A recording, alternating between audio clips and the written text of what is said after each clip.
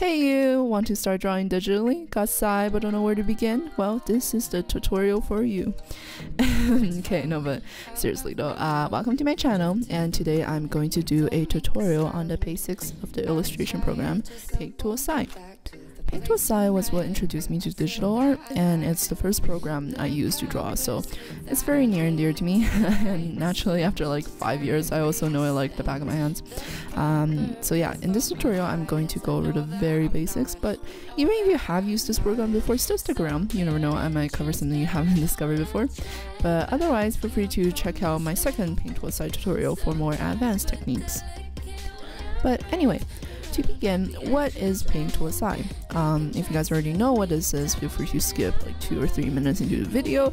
If not, well, Paint Tool SAI is a Japanese program made for illustrations. Um, the official English website looks like it got trapped in 2005 or something, but uh, you can still find all the information you need. Um, for example, it's 5,400 Japanese yen, which translates to around 50 US dollars, which is very, very cheap compared to Photoshop, which is like, by the way, like $700. Um, it's definitely the best program out there for the best value for what's worth considering all the functions that it offers. So uh, if you're not ready to make a purchase, you could always try the 30-day trial. But um, as for who should use it and why you should use it, Paint Tool SAI I think is like the default program for almost every artist on Pixiv. And if you don't know what Pixiv is, then man, are you missing out. Search it up. It's like uh, a Japanese DeviantArt, except everyone's art who's on there is like, ooh, it just makes me want to like give up on life, take out Butcher's knife, and just cut off my hands because it's like, why do I even try? No, but seriously though, um, this program is mostly for artists who want to draw um, anime, cartoons, I don't know, furries, um, just anything that's not realism, in which case, uh, my personal opinion is that Photoshop is better. The good thing about SAI mostly is that it has a simple interface and all of the most important functions of Photoshop without being as confusing as Photoshop. Alright, so now onto the actual program. Select File and you'll get a few options that pop down. Um, we'll start out with creating something new and a window will pop out where you can change the size of your art piece. Um, the bigger it is, the more memory it takes and the more laggy your computer gets. Um, so drawing with something around the 1 to 2k range is safe for most people, especially beginners. But obviously, this part's up to you. They have some presets here for you as well, which is pretty helpful if you want to draw in like, I don't know, a specific paper size or something. I'm just gonna select A6. But yeah, uh, now the important part in this section is the resolution area. I generally like to go with the 300 dpi just so that your final product looks crispier and more HD. And um, yeah, just make sure to change this because I think the default is like 72 or something. So now that you've created a file, I'm going to talk about the layer panel and the color tools over on the two sides here. You can actually pick which side you want them to be on. Just um, to do that, just go to Windows and down here you can choose which one of them you want on the right. So for example, if you want them to be both on the left, then you just have to uncheck both of these. Adjust this according to your own screen and what you're comfortable with. And um, while we're on this window drop down, I might as well talk a bit about the other important stuff here. So these six choices up here are pretty simple and straightforward. You can also get them to appear and disappear with these buttons up here. So the first one, color wheel, is an absolute must. Uh, this is what you use to choose your colors with. Everything else is pretty straightforward and um, you can choose which ones to show or not show depending on your screen size, um, what you can fit in there, and what you prefer. I'm not going to cover all of it since it'll take too long, so just play around with it yourself and, you know, see. Uh, remember though that most of these are to help you pick a color to use. So if you want to change the color of something you already have, so um, say I put on blue here, and I want to change it to purple, uh, you would have to go up to filter, then select hue and saturation, and so hue is what the color what color the layer is. Uh, saturation is how colorful this color is, and luminescence is how light or dark it is. So yeah, like I said, this program is pretty simple to work with. Down here is the toolbox. Um, I've already customized quite a bit, so it doesn't really look like the default ones anymore, uh, but this stuff up here should all be the same. The first two are selection tools, and the third one's a magic wand, uh, which is actually kind of a complicated function, so I might even make a separate video for it. But um, yeah, and this entire row down here is self-explanatory and kind of useless in my opinion, lol. But um, as for the brushes, uh, it can get very complicated and also calls for a separate tutorial altogether.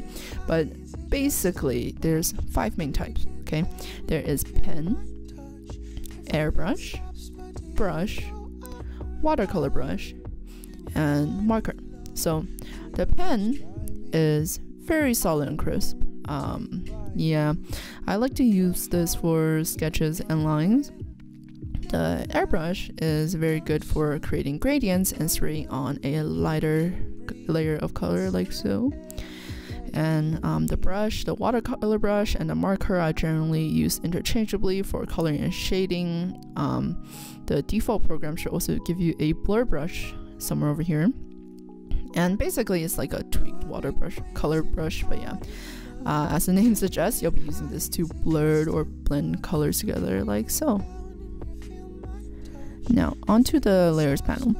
Up here is the navigator. This is pretty helpful. Um, you can use it to zoom in or out or rotate the whole picture. But uh, you can also do the zoom in and out thing with the wheel of your mouse, which in my opinion is a lot more convenient. But uh, the most useful part of this area is the reset buttons. So say if I zoom out really far, this is a really nice way to always return back to the original full view. Um, there are a lot of functions on this column the rest of this column um, that's pretty advanced so I'll only cover the basics right now um, and I'll start with the bottom of these two lines this time this area is where all your layers are so to create a new one you click this blank page on the top left corner here and yeah, um, layers are very important, especially how you organize them, which by the way, I have a video on that. They're helpful mostly because you can separate the colors that way. So for example, I can have a layer for backgrounds and then another layer for the character. yeah, but um, yeah, this looks like a child's scribble, but yeah, you know what I mean. Um, you can make a line work layer as well. So notice how the toolbox changed. Uh, feel free to play around with it, but basically this is helpful if you don't have a tablet and draw with your mouse or something, since you can just click to make the lines.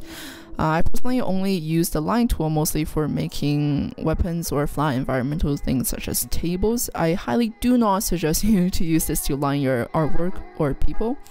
Um, the problem with this is that the lines turn out rigid and really unnatural and just really unprofessional overall. So yeah, don't use it. Um, you can also organize uh, layers into folders like so and yeah, um, okay, let's see. Uh, this button here on the left is for transferring what you have on the current layer to the one below without deleting the layer like this. And let's undo that. And this one is for completely merging the two layers and transferring it to the one below. But yeah this is for erasing what's on the layer without deleting it and this is for deleting the entire layer but yeah, don't worry about this white dot thing on the top right yet, because that's quite advanced. But yeah, kudos to um, those of you who still stay with me. Uh, we're almost done. The most important parts are coming up now, actually. Um, so yeah, we're going to ignore this bottom button because these two up here are far more important. Uh, preserve opacity is pretty much just as essential to digital art as Control Z. And basically, once you check this box, it locks what you have already put down on the page.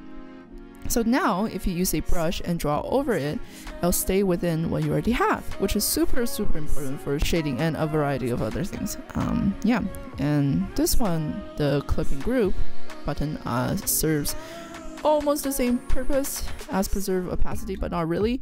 So um, say this layer is your base color or something, and if you make a new layer on top and then clip it, what it does is that it does the same thing as preserve opacity, except you'll be drawing on a new layer, which makes some people more comfortable since that way you won't be screwing up what you already have on the bottom. Okay, now listen up my kohais. See this row called mode? Well, this is probably one of the most important functions inside and basically any other illustration software you'll encounter. I usually change the mode for clip layers because it's kind of like a cheat way to apply shade and lighting.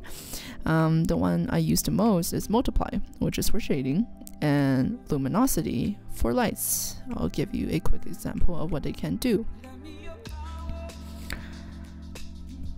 Um, ta-da! um, yeah, you, you get the idea, but basically, um, a warning though. Um, be careful to not become dependent on these because I mean they're cool to play around with and they're efficient shortcuts and I'll be a hypocrite if I say don't use it but um, if you should probably learn how to actually shape your own artistic future instead of relying on um, these mold layers but yeah that's about it I think yeah that's literally everything you need to know about Paint to get started I know I sped through a lot of this, so feel free to go back and rewatch some areas, pause and try some of the stuff on your own. But overall, I hope that helped. Uh, click here to watch some of my other tutorials, or click here to subscribe to more. Um, make sure to give this video a thumbs up, and I'll see you guys later with more tutorials and speed techniques in the future.